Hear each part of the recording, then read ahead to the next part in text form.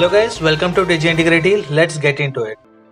The Income Tax Department has launched a new ITR e-filing 2.0 portal for all the taxpayers out there. You can head over the new portal at www.incometax.government.in and do the required e-filing as required. Please check out the link in the given description. The new portal, as the IT department claims that it is very user friendlier and offer better features when compared to the old ITR website. The new portal should make your life and e-filing easy for you. Nizamabad Lok Sabha MP has demanded scrutiny on Battlegrounds Mobile India. The letter to IT Minister Ravi Shankar Prasad highlights the issue with the game and asks it to look into Krafton's deal with Tencent. This comes ahead of the rumored Battlegrounds Mobile India launch on June 18. WhatsApp is introducing a new feature that will allow you to log into WhatsApp quickly according to a report by WhatsApp Beta Info. The new feature which is in development is called Flash Calls and is currently in a WhatsApp beta for the Android 2.21.11.7 update. Flash Calls will allow user to quickly get verified while logging into WhatsApp via automatic verification over a call. Let's see how does it work. WhatsApp will call your phone number using this automatic verification method and then automatically end the call. The platform platform will then verify the last phone number in your phone log is equal to the number that gives you a 6 digit code. The report states that phone number will be different each time and will ensure a safe experience while verifying the account. WhatsApp will need your permission to make and manage calls and access your phone log during the process. The call history won't be used by WhatsApp for other purpose. Vivo is all set to launch its new smartphone, the Vivo Y73 in India on June 10th. The company has officially confirmed the launch date of this new smartphone through its official Twitter handle. To know more about this phone, please check out the card above. Tecno Spark 7T specifications and design have been revealed. The handset is set to launch in India on June 11. Tecno Spark 7T will be sold via Amazon.in post launch. Poco M3 Pro 5G could cost under 18,000 rupees as per the recent leak. The phone is scheduled to launch in India on June 8. To know more specifications of this mobile, please check out the card above.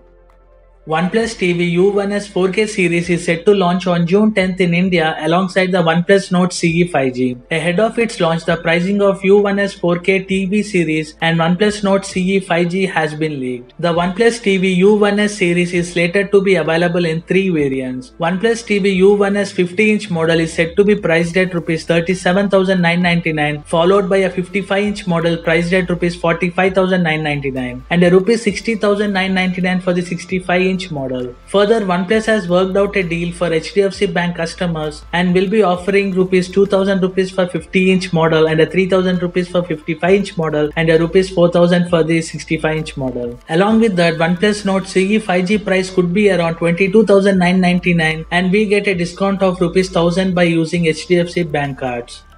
OnePlus has a couple of mid-range phone launching this summer. We already know that OnePlus Nord CE 5G is one of them which is scheduled to arrive this week on June 10 to be specific. To know more specifications about the OnePlus Nord CE 5G, please check out the card above. Another model in the Nord line confirmed to be on the way and specifically for the North American market in the OnePlus Nord N200 5G. And now we get a first look of the device along with key specifications. CEO of OnePlus Pete Lau revealed the details of new Nord phone in an interview, he also quoted to have said that OnePlus Nord N200 5G will be its most affordable 5G device ever. OnePlus Nord N200 5G will have a 6.49 inch 1080p LCD panel with a punch hole at the left corner and a 90Hz refresh rate. This is an upgrade from the 720p panel of the Nord N100.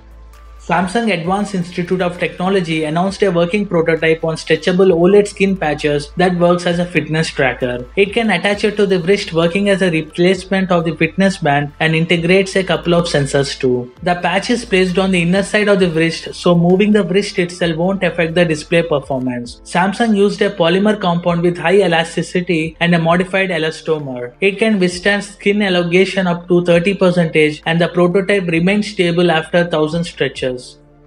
Samsung is prepping up towards the launch of Galaxy S21 Fan Edition smartphone. In the last few months, we have already seen multiple pieces of information regarding this handset. The pricing information of S21 Fan Edition come courtesy of the Korean news media outlet. According to the outlet, the Samsung Galaxy S21 Fan Edition is expected to be priced between 700,000 to 800,000 won, that is 45,000 to 52,000 Indian rupees. With these leaked pricing details, we can conclude that fact that Samsung is aiming to lower lowered down the S21 Fan Edition pricing by around $100 that is 7229 Indian rupees. Apple is hosting its annual developers conference, the Worldwide Developer Conference 2021. At the event, Apple is expected to announce updates to iOS 14, iPad OS 14, tvOS, macOS, and Watch OS, among other things. In addition to this, reported have hinted that Apple could also announce a new Apple Silicon chipset and a new MacBook Pro laptop.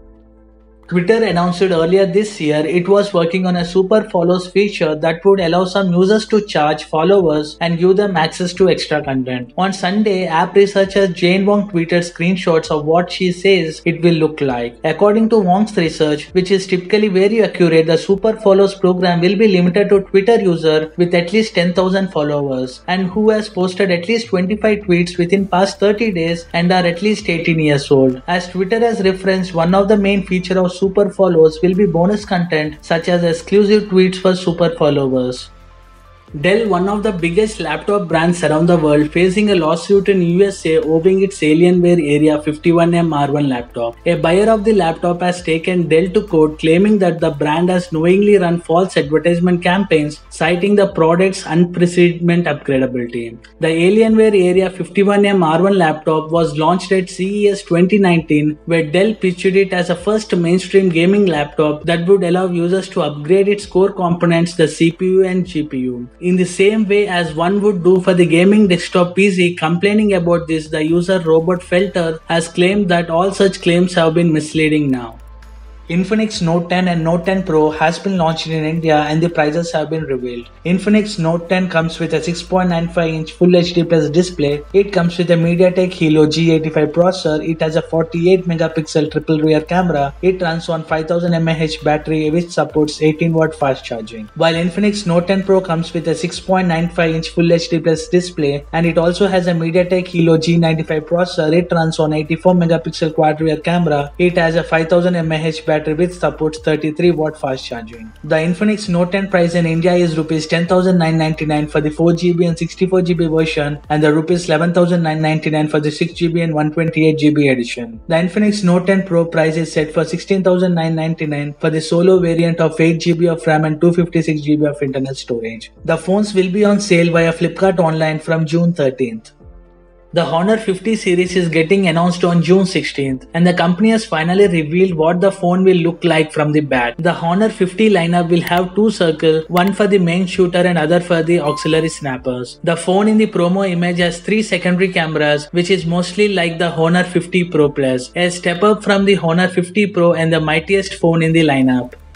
Huawei has launched a new ultra high power charger that has a capacity of charging at 135 watt and is made especially for notebooks. The new Huawei 135 watt charger comes with a USB Type-C port. The product made for smartphones and notebooks comes in a square shaped design with the flat edges. The white color charger has a built-in cable while the adapter pin has a split pin structure that can be helpful in changing the pin type.